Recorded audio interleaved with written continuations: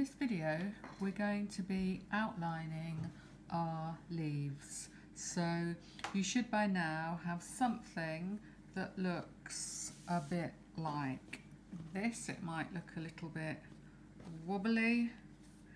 Um, it might look like it needs a bit of tidying up. If you want to, you could block your leaves individually as you finish them. That's something that I might talk about another time. Um, but I don't think that they do need blocking but if you prefer to you could just pin them out give them a little bit of a steam or just spray them with water and flatten them down they will eventually find the correct shape so don't worry too much about that um, this is what mine look like in the Rowan felted tweed so a little bit spindly, look like they need good watering and tidying up. And this is what we're aiming for. So to have a really nice, dark, contrasting outline. So in the same way that you've outlined your flowers, we're going to be outlining the leaves. So there aren't any difficult stitches, it's all double crochets and slip stitch. The difficulty is though in the accuracy of your stitches. You just need to make sure that you're putting them in the right places and that you've got the right number of stitches. So what I would say is take your time with these. Um, there's no hurry. It's better to just take it slowly, enjoy the process um, and get it right and it's probably going to take you one or two goes before you get something that you're happy with. So don't be in a hurry to do them. Um, so we're going to do two outlining rounds. So mine's in the seafarer and we're also going to do um, this chain stitch outline that you did in the flowers as well. So that's three rounds that we're going to do um, in this tutorial. I'm going to be using a contrasting colour just for the purposes of this video. When you're making your leaves then um, I imagine you're going to be outlining them with the same colour that you've used for your flower outlines so that's going to be something quite dark so we're looking for a really nice dark contrast between the outlining rounds and the colour of these leaves. You'll probably find one of these very useful.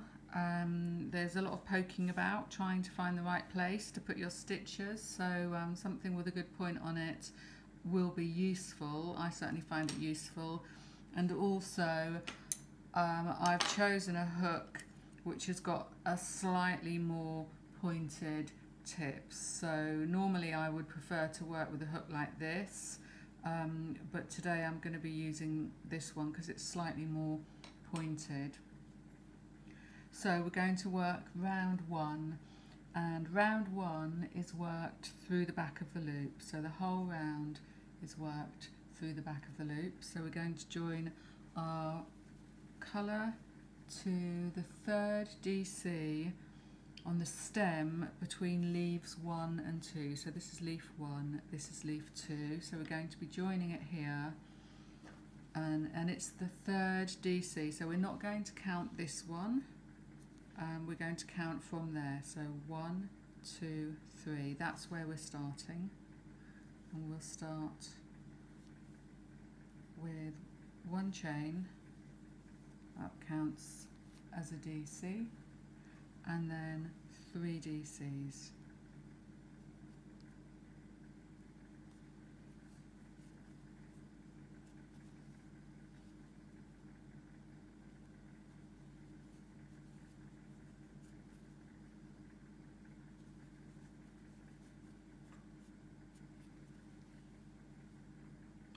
and then three slip stitches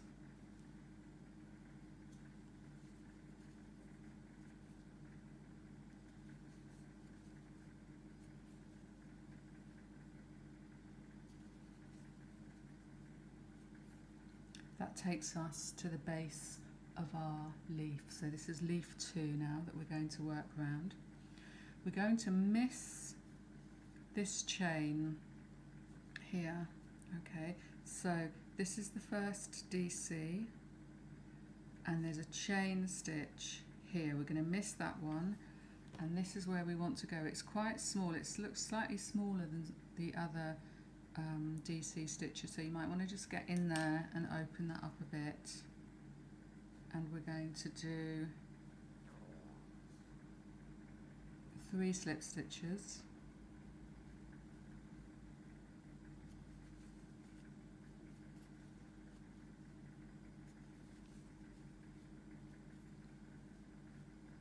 Five DCs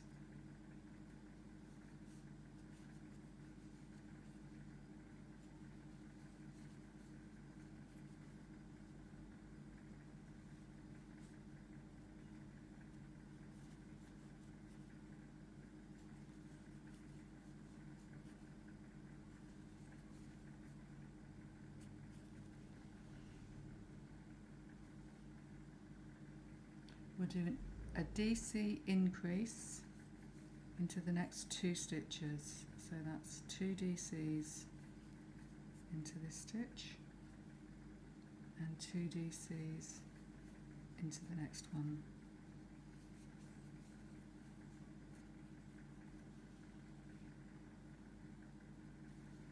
And it's one DC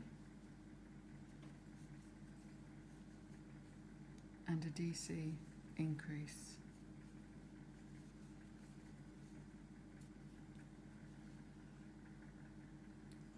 Two DCs.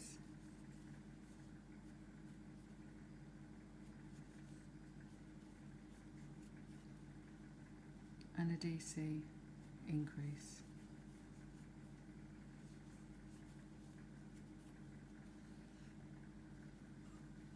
One DC.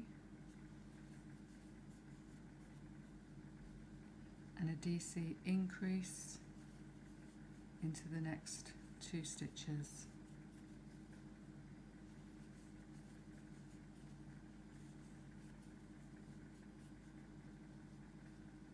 Five DC.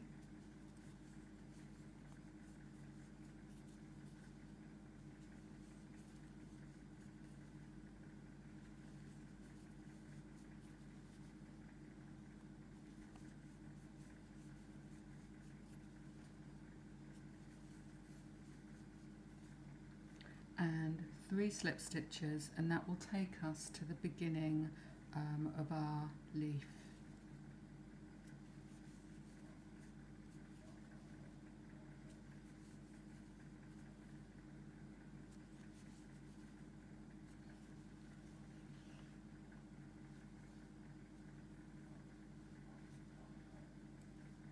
Now we're going to miss this DC so we're not going to work into that one. And now we're going to work into the DC right at the base of the leaf with a slip stitch,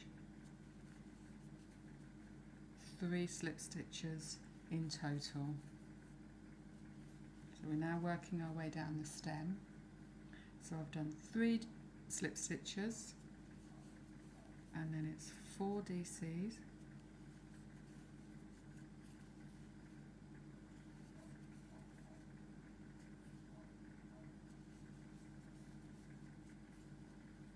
and then three slip stitches.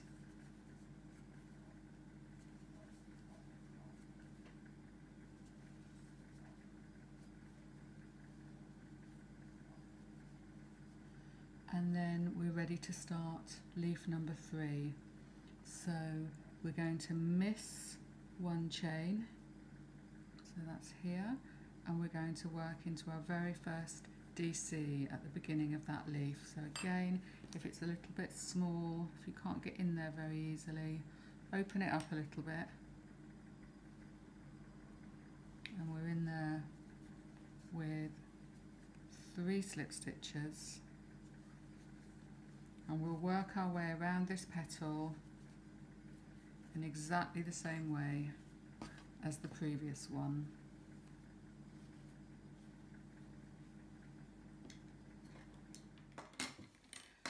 I've just finished my third leaf or leaf number three.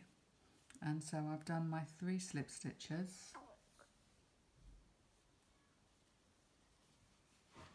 And then I'm going to miss a DC and it's a slip stitch into the next stitch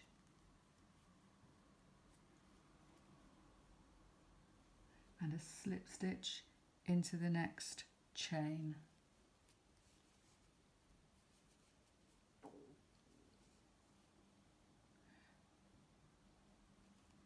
I'm going to miss a chain and then I'm slip stitching into my first DC.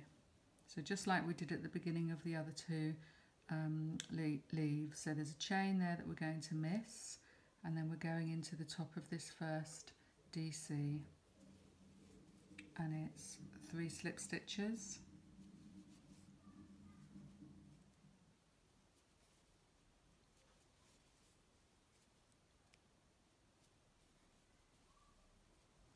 Five DC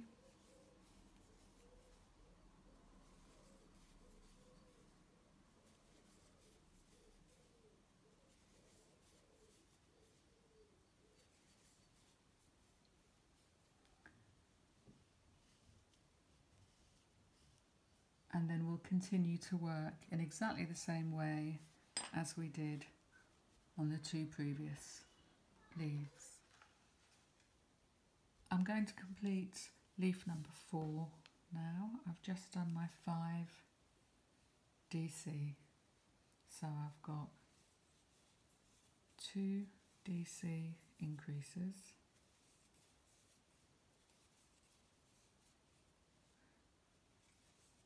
DC. One increase. Two DC.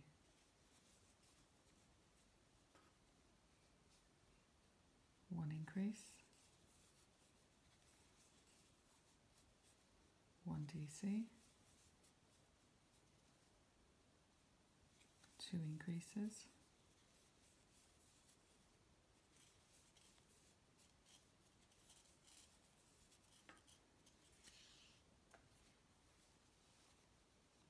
Five DC.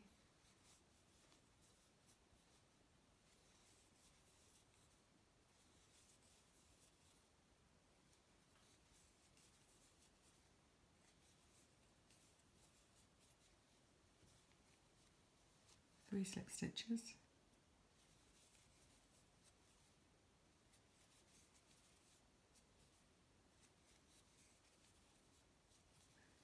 and now I need to work my way from leaf 4 to leaf number 5 so I'm going to miss a DC and then I'm going to work two DCs one into each of the next two stitches.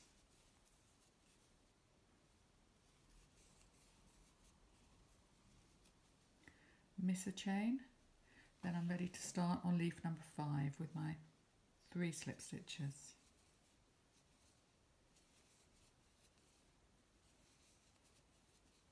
and then 5 DC.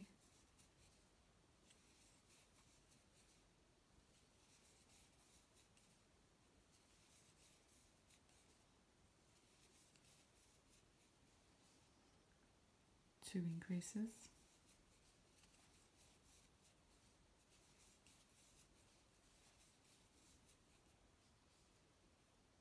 One DC. One increase. 2 DC.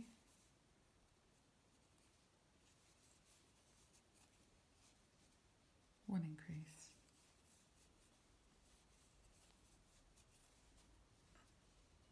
One DC. Two increases.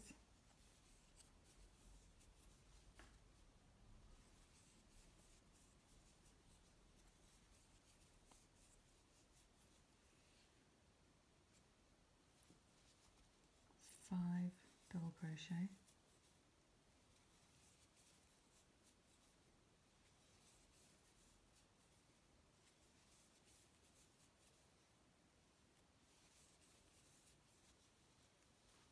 And three slip stitch.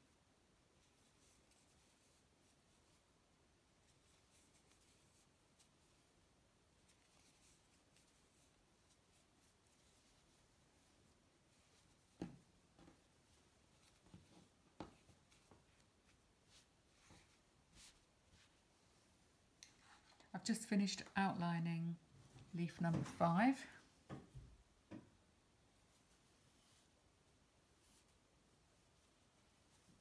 I've done my three slip stitches. I'm going to miss a DC and now I'm ready to work down my stem. So I'm going to do three slip stitches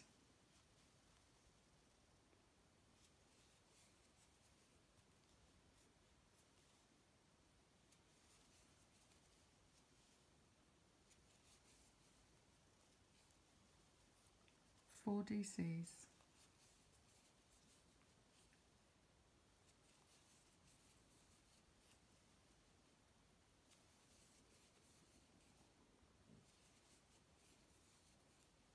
and three slip stitches.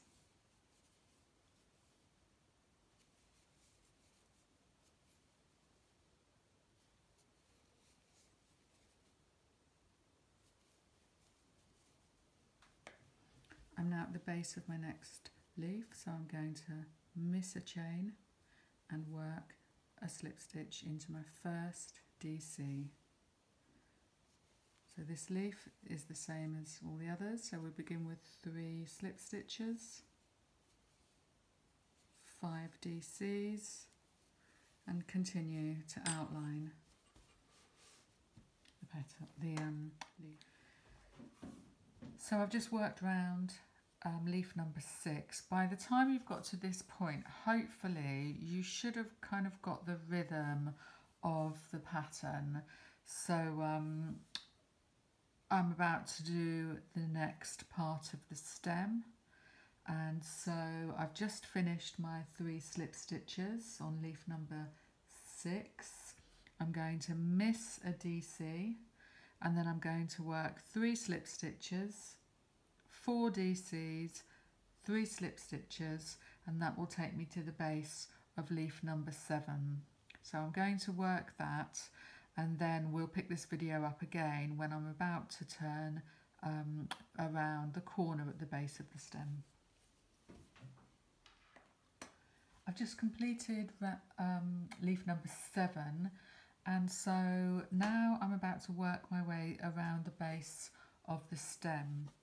So I've completed three slip stitches um, at the end of that leaf. I'm going to miss one DC and then I'm going to work my way down the stem. So I'm going to do three slip stitches. So I'll do one, two, three slip stitches, two DCs, one, two, and then in here there is actually a chain space. So on the previous round um, there's a DC, a chain space and a DC. So in that chain space I want to effectively work a little corner. So in there I'm going to do um, a DC, a chain and a DC that will make that first little corner. And then depending on how you joined on your previous round, because this is where you've got a join, um, now I do a chain stitch join, so that's going to give me a chain here, which is where I'm going to work my second corner.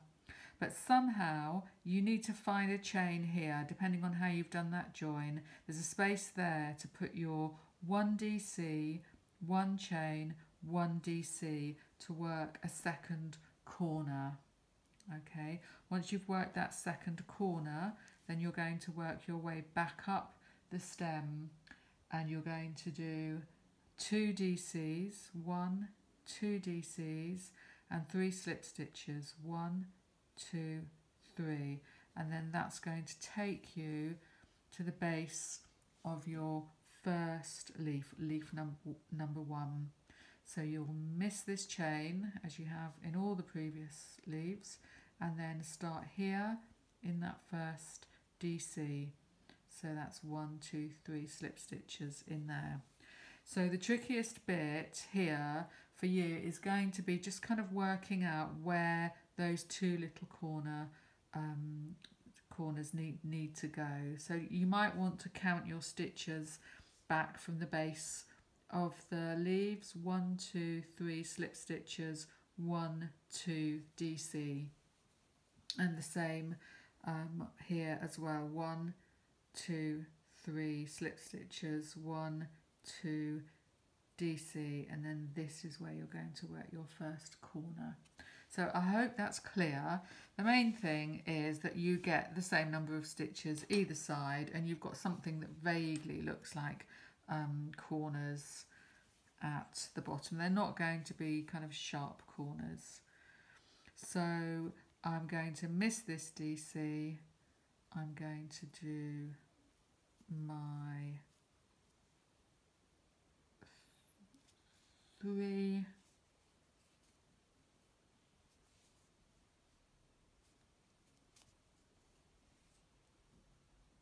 slip stitches one two three two DCs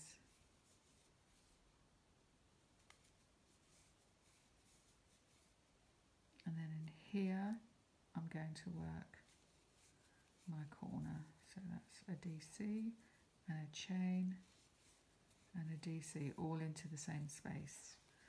And now in the next space I'm going to work a DC, a chain and a DC. Now I'm working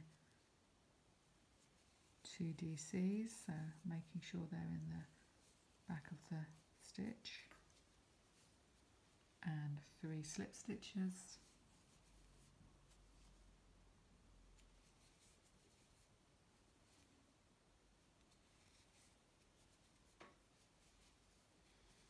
and that takes me to the base of this leaf. So I'm going to miss that chain stitch start in that first DC with my three slip stitches and complete this leaf in the same way as the others. So you can see that that should give you a nice even shape at the base of the stem.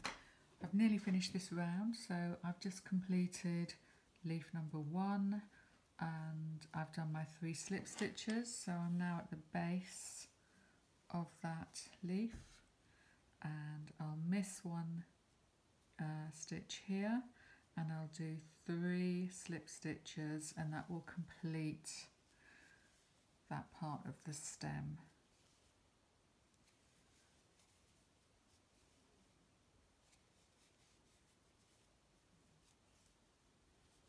And then I'll finish the round by slipping into that very first chain stitch.